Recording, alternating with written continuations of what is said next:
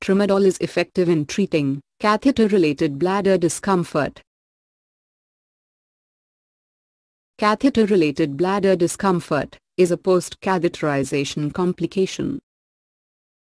Previous studies have shown that pre-treatment with tramadol reduces severity and incidence of catheter-related bladder discomfort.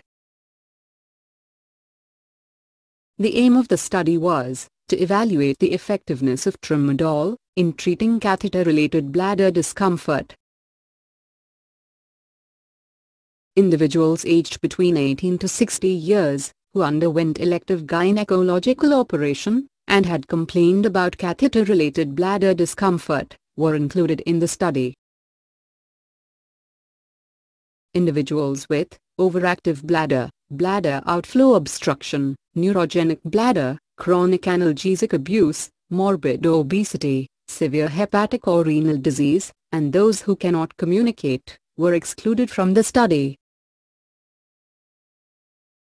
The prospective, randomized, controlled, double-blinded study included 90 women, and were divided into three equal groups. Group A, Group B, and Group C, each group included 30 subjects.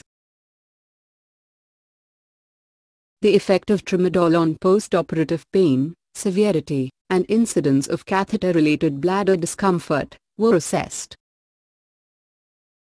The number of patients experiencing moderate pain was less in patients receiving tramadol 1.5 mg per kilogram, compared to those receiving tramadol 1 mg per kilogram and normal saline.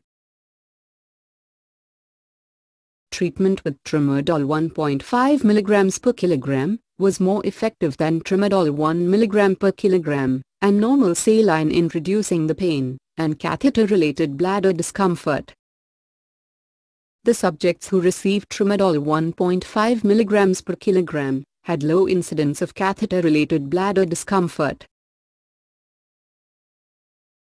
Based on the study results it was concluded that Tramadol at a dose of 1.5 mg per kilogram, was safe and effective in treating catheter-related bladder discomfort and reducing postoperative pain.